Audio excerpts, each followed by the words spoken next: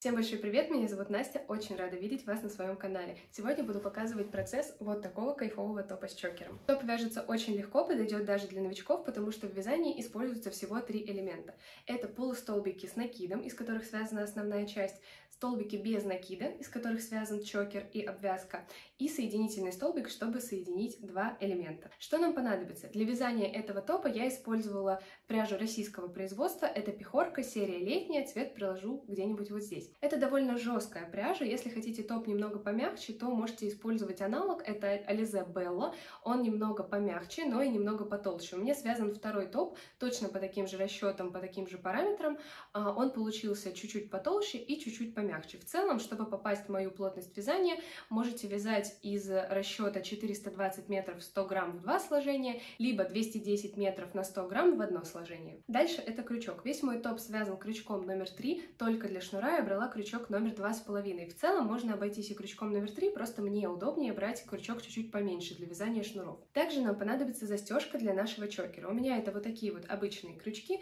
можно использовать пуговицу, но для нее нужно будет самостоятельно сделать петелечку. А также нам нужны будут иголка с широким ушком, чтобы попрятать ниточки, и маркеры, чтобы определить середину. В целом, у видео вы увидите, я использовала обычную английскую булавку. В целом, можете поступить точно так же. Ну что, погнали вязать? Так, ну что, начинаем мы с набора воздушных петель. Я вяжу на размер XSS, у меня это 104 воздушных петли, уже с петлями подъема. Делаем узелок,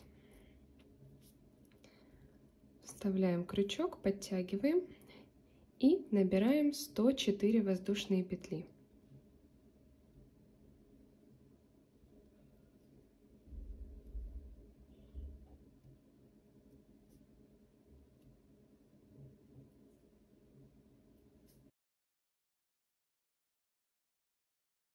Я набрала 104 воздушных петли, далее мы вяжем первый ряд основания полустолбиками с накидом. Мы пропускаем первые две воздушные петли, это наши петли подъема. Вяжем в третью петлю полустолбик с накидом. Как он вяжется?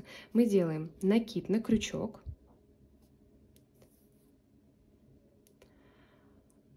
Вводим крючок в петлю, пропуская первые две, вводим крючок в третью петлю,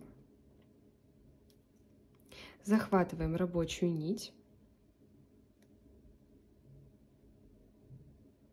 вытягиваем петлю, получаем 3 петли на крючке.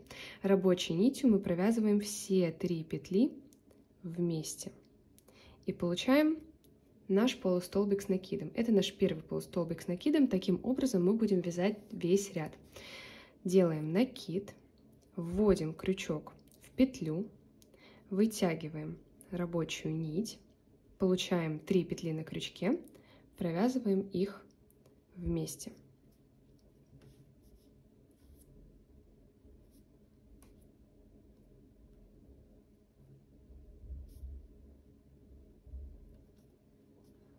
Таким образом вяжем до конца ряда.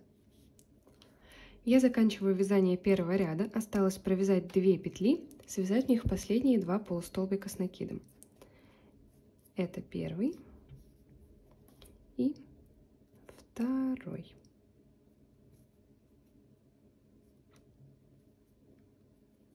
Все, первый ряд закончен, переходим ко второму ряду.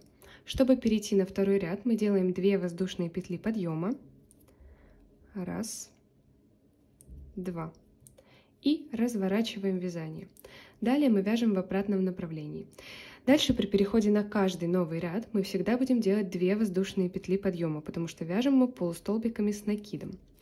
Второй ряд мы вяжем таким же образом. Делаем накид, вводим крючок под обе стенки петли, пропуская 2 наши петли подъема, вяжем в первую петлю, вводим крючок под всю косичку. Вытягиваем рабочую нить, получаем 3 петли на крючке и провязываем их вместе. Далее таким же образом накид, крючок под обе стенки косички, вытягиваем, получаем 3 петли, провязываем их вместе. Дальше вяжем таким же образом до конца ряда.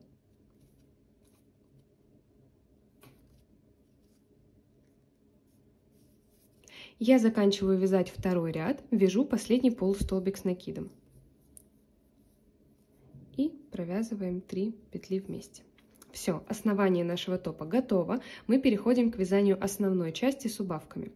Для перехода на третий ряд нам нужно сделать 2 воздушные петли подъема. Раз, два. И развернуть вязание. Далее в начале и в конце нашего топа мы будем делать по одной убавке, за счет чего наш топ и будет сужаться и принимать трапециевидную форму. Начинаем ряд с убавки. Как сделать убавку? Мы делаем накид на крючок, пропуская первые две воздушные петли, вводим крючок под обе стенки косички и вытягиваем рабочую нить. Получаем 3 петли на крючке, как при вязании полустолбика с накидом, но не провязываем их вместе, а вводим крючок в следующую петлю и вытягиваем рабочую нить. Таким образом мы получаем 4 петли на крючке. Первая, которая вышла из наших воздушных петель, следующая это накид, следующая петля из первого столбика и вторая петля из второго столбика предыдущего ряда. И вот их все 4 петли на крючке мы провязываем вместе. Таким образом мы получили из двух вершин одну вершину. Показываю еще раз. Делаем накид, вводим крючок под петлю, вытягиваем, получаем 3 петли на крючке, вводим петлю в следующий столбик, вытягиваем и получаем 4 петли на крючке. И их мы уже провязываем вместе. Эта убавка нам была не нужна, показала ее для примера. Делаем по одной убавке в начале и в конце каждого ряда. Дальше мы вяжем обычными полустолбиками с накидом. Вяжем так до конца ряда, оставляя две последние петли для последней убавки. Я подхожу к концу третьего ряда. У меня осталось 4 петли из этих двух, в каждую из этих двух петель я свяжу по одному полустолбику с накидом, а из последних двух петель сделаю убавку. Вяжем первый полустолбик, вяжем второй полустолбик и из последних двух петель, раз, два, мне нужно связать убавку. Делаю накид на крючок, ввожу крючок под обе стеночки косички, захватываю рабочую нить, вытаскиваю, получается 3 петли на крючке, ввожу крючок в последнюю петлю, захватываю рабочую нить, получаю 4 петли на крючке. Все 4 петли провязываю вместе. Все, третий ряд закончен. Переходим к четвертому ряду. Как обычно, делаем 2 петли подъема, разворачиваем вязание, Далее каждый ряд мы будем вязать по принципу третьего ряда, то есть в начале убавка, далее полустолбики с накидом и убавка в конце. Так вяжем до того момента, пока топ не приобретет желаемую длину. Начинаем четвертый ряд. Делаем накид, пропускаем 2 воздушных петли, вводим крючок под петлю, под 2 стеночки, выводим рабочую нить, получаем 3 петли на крючке, Вводим крючок в следующую петлю, выводим рабочую нить, получаем 4 петли на крючке. Их провязываем вместе. Из двух вершин мы получили одну вершину. Далее вяжем обычными полустолбиками с накидом до конца этого ряда. Четвертый ряд я также заканчиваю убавкой. У меня осталось две петельки. Раз, два, последняя немножко завернулась. И из них я буду делать убавку. Делаю накид, ввожу крючок под петлю, вывожу, получаю 3 петли на крючке. Ввожу крючок в последнюю петлю. Это будет довольно сложно сделать, потому что она подзавернулась. Вывожу тем не менее, еще одну петлю и провязываю 4 вместе. И делаю убавку. Дальше опять делаю 2 петли подъема, разворачиваюсь на пятый ряд, пропускаю эти две петли, делаю накид в первую петлю, во вторую петлю, получаю 4 петли на крючке и провязываю их вместе. Так делаю в начале и в конце каждого ряда. Делаю в начале убавку и в конце убавку. Серединку вяжу обычными полустолбиками с накидом. Я довязала ряды с убавками. В последнем ряду у меня получилось 13 столбиков. Раз, два, три, четыре, пять, шесть, семь, восемь, девять, десять, одиннадцать, двенадцать, тринадцать.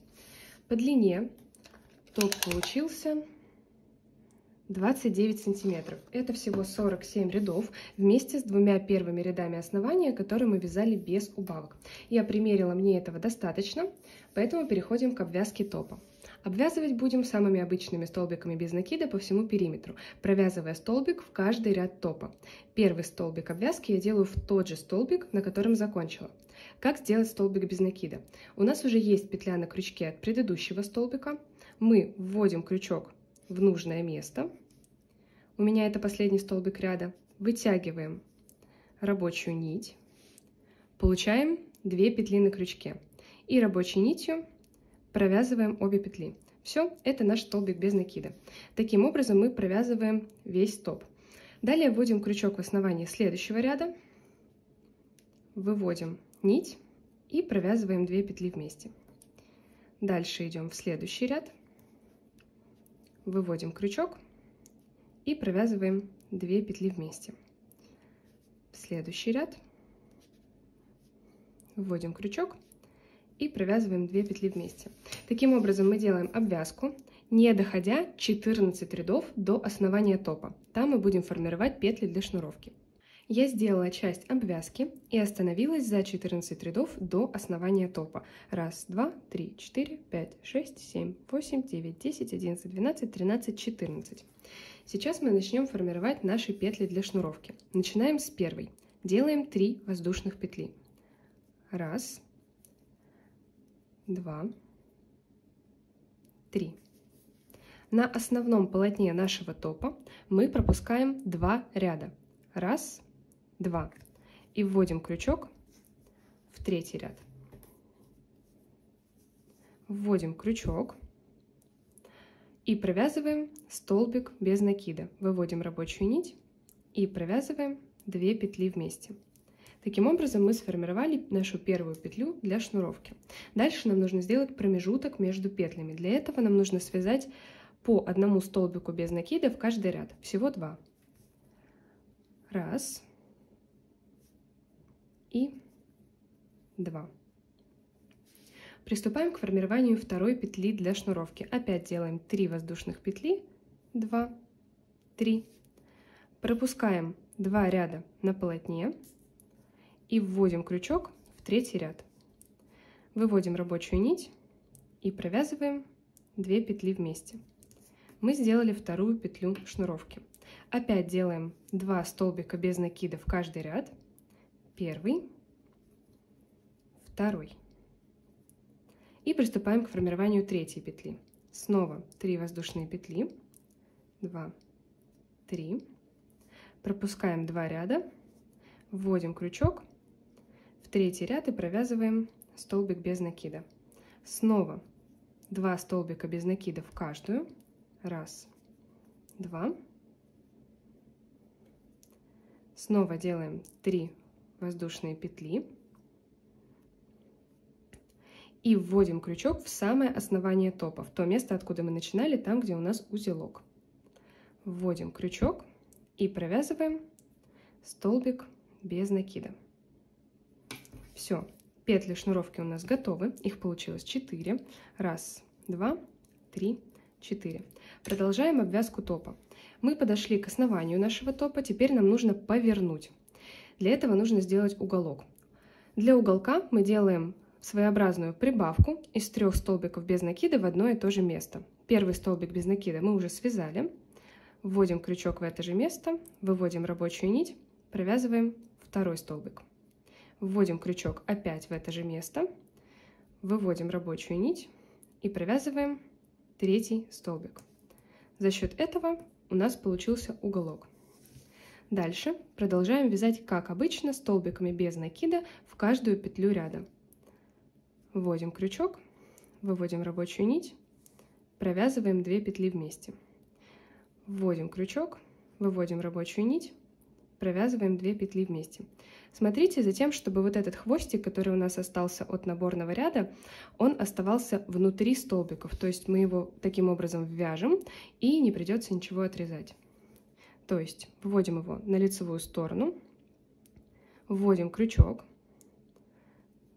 продеваем крючок через петлю и провязываем 2 петли вместе.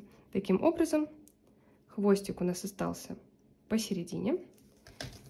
И когда мы довяжем до конца, этот хвостик у нас закончится, мы его подтянем и встретимся уже на формировании второго уголка. Решила остановиться на этом моменте и показать вам, как я прячу хвостик. Я связала небольшую часть обвязки основания. У меня остался совсем небольшой хвостик, практически весь я ввязала. Как я его прячу? Я беру хвостик в одну руку, полотно в другую руку и вот так, как резинку, его немного натягиваю. Не сильно, чтобы не растянуть петли. Дальше я отрезаю хвостик и расправляю петли. Таким образом, и с изнаночной, и с лицевой стороны этого хвостика не видно, он остался в рядах, и ничего больше прятать не нужно. Я завершаю обвязку нижней части топа. Мне осталось провязать последнюю петлю и сформировать из нее уголок. Его мы формируем точно так же, как предыдущий. Вводим крючок в последнюю петлю, выводим нить, провязываем столбик без накида. В это же место ту же самую петлю мы провязываем второй столбик без накида. Выводим нить и провязываем 2 петли вместе. И третий раз в эту же самую петлю мы вводим крючок, выводим нить и провязываем третий столбик без накида. Мы сформировали уголок. Теперь нам нужно сделать зеркальные петли для шнуровки. Начинаем их с трех воздушных петель. Раз, два, три. На полотне нашего топа мы пропускаем два ряда и вводим крючок в третий ряд топа. Провязываем столбик без накида. Дальше нужно сформировать промежуток между петлями. Провязываем по одному столбику без накида в каждый ряд. Первый и второй. Далее делаем 3 воздушные петли Пропускаем два ряда на топе, вводим крючок в третий ряд, провязываем столбик без накида. Таким образом мы формируем 4 петли, зеркальные тем, которые мы уже провязали на другой стороне, и переходим на обвязку столбиками без накида до этого угла. Здесь встретимся. Я дошла до верхнего угла топа, провязываю последний столбик без накида. Все, обвязка закончена. Дальше мы обрезаем нить с небольшим запасом и вытягиваем из петли. Этой оставшейся нитью мы будем пришивать чокер к топу, поэтому пока что эту часть убираем в сторону и приступаем к вязанию чокера. Чокер мы будем также вязать в две нити обычной резинкой столбиками без накида. Для начала делаем узелок, вводим крючок и набираем 8 воздушных петель. Раз, два, три, четыре, пять, шесть, семь, восемь. Это ширина нашего будущего чокера. Если вы хотите чокер поуже или пошире, набирайте другое количество петель. Это на ваш вкус, принцип вязания от этого не изменится. Я набрала 8. Далее начинаем вязание. Вяжем столбик без накида во вторую петлю от крючка. Первую пропускаем, вяжем во вторую. Вводим крючок, выводим рабочую нить, и провязываем 2 петли вместе. Вводим крючок в следующую, выводим нить и провязываем вместе. Так вяжем до конца этого ряда. Я провязываю последний столбик.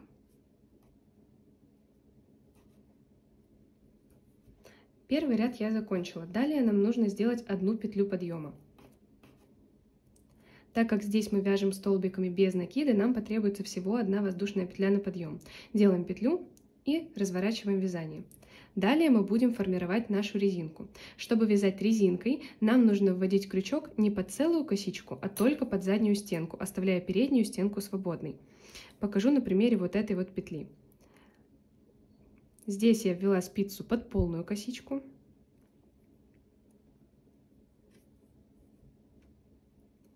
Вот так я ввожу под заднюю стеночку петли. Вот так я ввожу под переднюю стеночку петли. Нам всегда нужно вязать за заднюю стеночку петли, чтобы у нас формировалась резинка. Таким образом, петлю подъема мы пропускаем, вводим крючок под заднюю стеночку косички, выводим рабочую нить и провязываем 2 петли вместе. Таким образом, передняя стеночка у нас осталась свободной. Дальше вводим крючок под заднюю стеночку косички, выводим нить и провязываем 2 петли вместе. Вводим крючок под заднюю стеночку, выводим нить, оставляя переднюю стеночку свободной, и провязываем 2 петли вместе. Покажу чуть поближе. Вводим под заднюю стеночку, вот передняя, вот задняя. Вводим под заднюю. Выводим нить и провязываем 2 петли вместе. Так вяжем до конца этого ряда.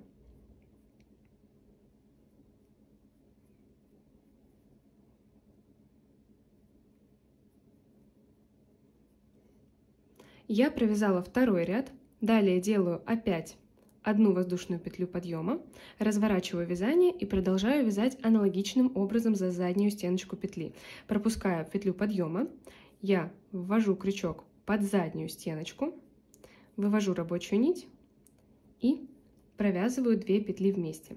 Так вяжем на комфортный для вас размер, примеряйте чокер в процессе, чтобы он и не болтался, и не давил. Я довязала свой чокер. Он у меня получился 32 сантиметра в слегка растянутом виде и 30 рядов ровно. Из-за того, что мы вязали за заднюю стеночку петли, полотно у нас получилось ребристое и слегка тянущееся. Сейчас нам нужно закончить вязание чокера. Мы довязали последний ряд, у меня это 30 делаем одну воздушную петлю, отрезаем нить и вытягиваем ее. Таким образом мы закрепили наше вязание. Сейчас приступим к сшиванию топа и чокера. Сейчас у нас готовы две детали. Это основная часть топа и чокер. Дальше нам нужно привязать их друг к другу. Первое, что мы делаем, это высчитываем серединку у обоих из деталей. Я это уже сделала и отметила середины маркерами. Так как все маркеры, кроме голубого, съела моя кошка, вторым маркером у меня сегодня выступает булавочка.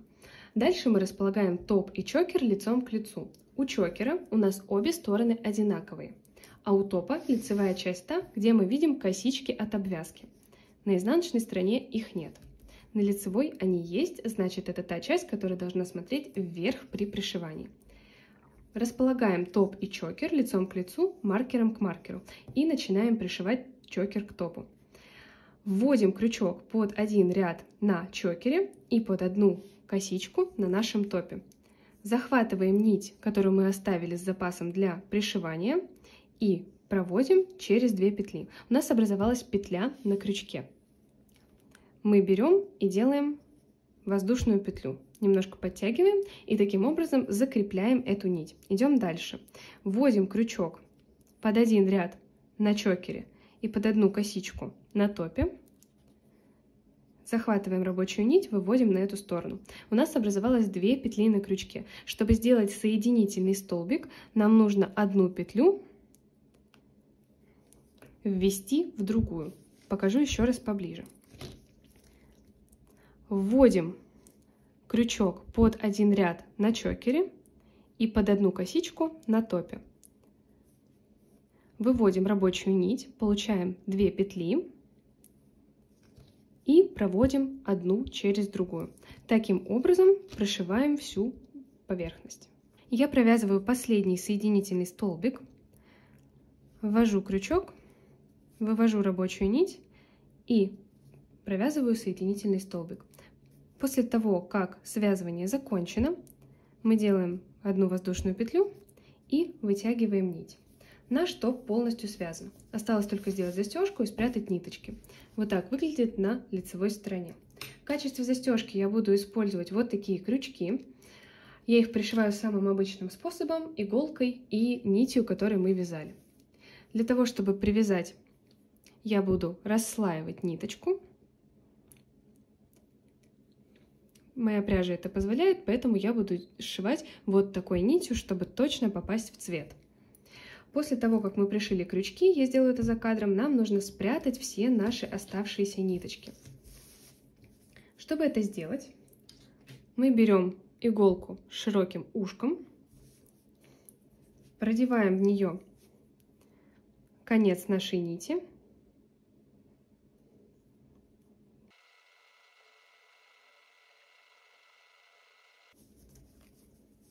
и, проходясь по ближайшим рядам.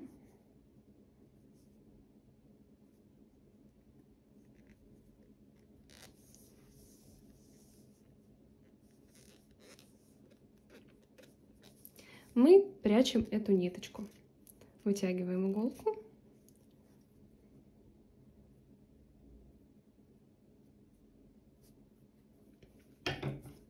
И отрезаем хвостик. Так поступаем со всеми оставшимися ниточками. Так как вязание у нас плотное, поэтому при стирке нить никуда не убежит. Поэтому так делаем со всеми нашими хвостиками. Ну что, топ полностью связан, осталось связать шнур. Сейчас я покажу вам способ, который открыла для себя совсем недавно, но он стал для меня самым любимым, потому что он максимально быстрый, удобный и шнур получается просто идеально. Берем крючок поменьше, я беру два с половиной. Если хотите, можете продолжать вязать крючком номер три и пряжей в два сложения, тогда шнур будет потолще. Далее от мотка мы отматываем большое количество пряжи. Длина пряжи, которую вы отмотаете, должна быть в три раза больше, чем итоговый размер шнура. То есть, если вам нужен шнур 100 сантиметров, отмотать мы должны 300 сантиметров.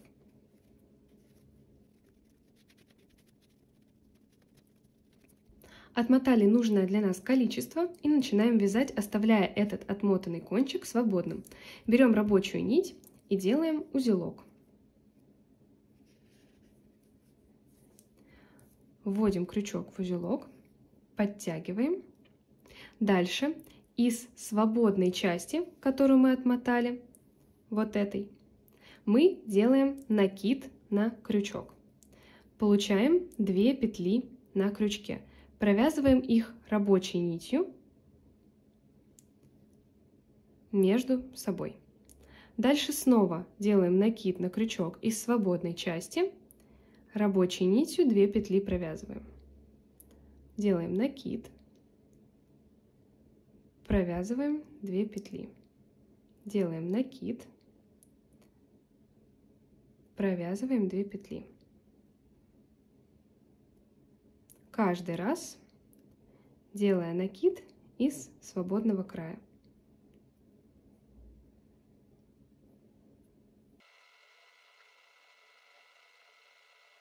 Таким образом мы получаем максимально аккуратный шнур, который очень просто вяжется. Вяжем на нужный нам размер. На примере этого маленького шнура покажу, как мы заканчиваем вязание. После того, как мы сделали последний элемент в нашем шнуре, мы обрезаем обе нити, вытягиваем одну из них, берем оба хвостика и делаем несколько узелков. Я делаю три. Первый, второй и третий. После этого берем ножницы и обрезаем эти ниточки под корень.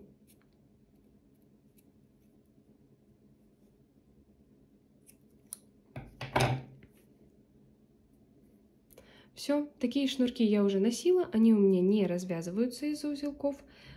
Вяжем под нужную нам длину, перешнуровываемся и топ готов. Всем большое спасибо за просмотр. Поддержите, пожалуйста, это видео лайком, если оно вам понравилось, потому что я очень старалась, и это очень поможет дальнейшему развитию этого канала, мне будет еще приятнее делать новые ролики для вас. Пишите комментарии, как вам результат, будете ли пробовать вязать, а попробовать я очень рекомендую, потому что топ максимально красивый и очень-очень простой. Я уже выложила свои красивые фоточки в нем запрещенную соцсеть, Обязательно подписывайтесь либо здесь по QR-коду, либо по ссылке в описании. Ну что, на сегодня буду с вами прощаться. Подписывайтесь на канал, ставьте колокольчики, чтобы ничего не пропустить. И до встречи в новых рукодельных видео.